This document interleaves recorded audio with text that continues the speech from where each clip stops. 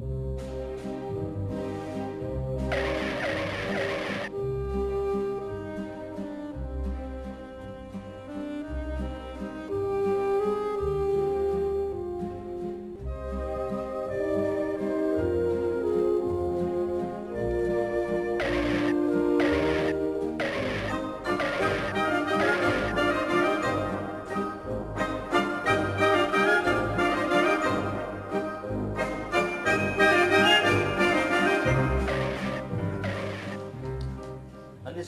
poem, this next poem um, is inspired by any of you women who have ever looked at your man with that awesome degree of contempt, hatred, spite and malice that only you women can have for a man and uttered those words made immortal and famous by Anne Robinson, you are the weakest link.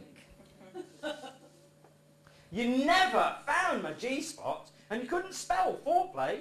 I was looking for Adonis and found a lazy, lousy lay. You are the weakest link. Goodbye.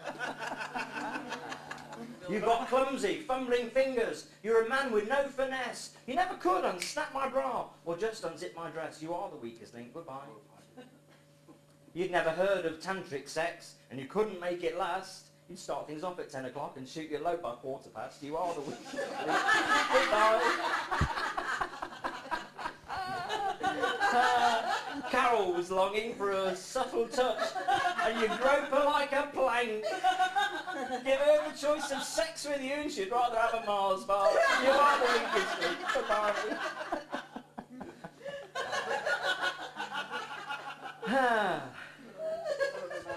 I'm sat at home and the telephone goes, and there's a friend of mine on the line complaining that apparently you just can't find a man who does not tell lies.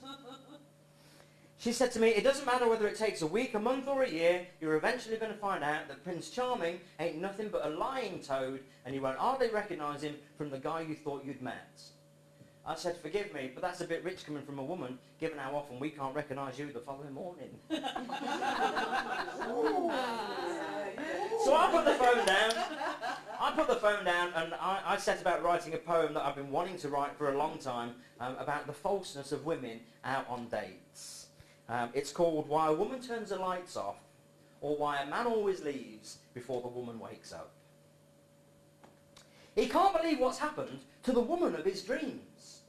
He surveys this sleeping beauty with barely muted screams.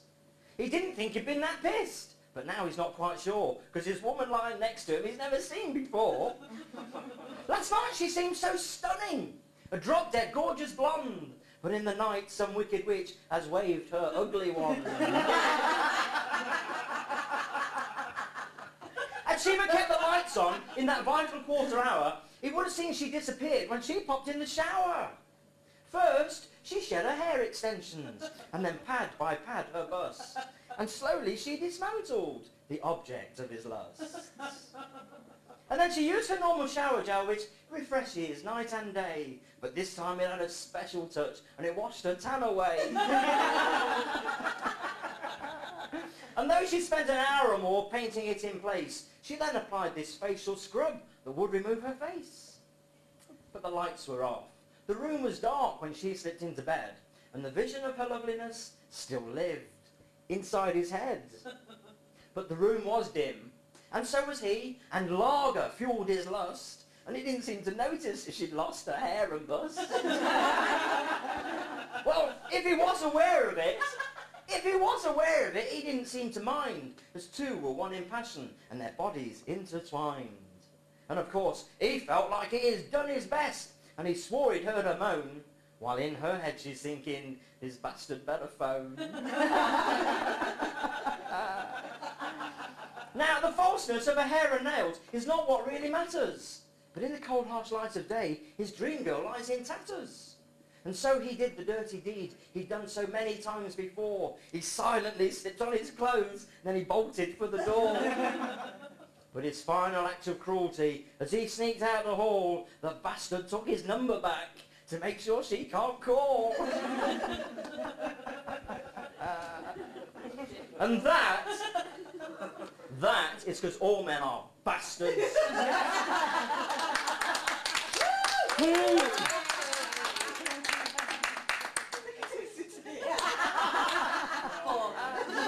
that is because all men are bastards and they'll break your fragile hearts, their tiny minds consumed by football, beer and tarts. Shallow, pleasure-seeking, with eyes for legs and bust, all men are bastards and you won't find one to trust. In pursuit relentless, when they're out chasing skirts, it's devil take the hindmost, and they don't care who they hurt. All men are bastards, and the truth could now be said, because they're useless in the kitchen, and they're mostly crap in bed.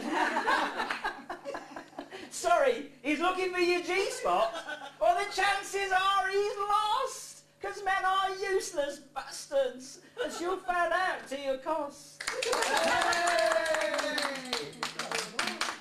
no, I, I did a performance for cancer research. I put a book together, which most of you have seen, Poets in the Pink, and I desperately wanted to call the book Party at Barrymore's. I wanted to call it Party at Barrymore's, and they didn't even want to see the poem. They were so, so nervous.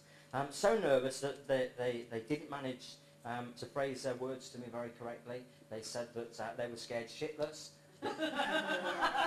they said they were scared shitless that Michael Barrymore and his people wouldn't like it, um, and they were even more scared that they then would sue the arse off them. but I wanted to call it Party at Barrymore's. He was our favourite personality. That's what they used to claim. Till pointing fingers then accused was Barrymore to blame. For years, he charmed the nation as he played the simple fool. But that ain't so appropriate.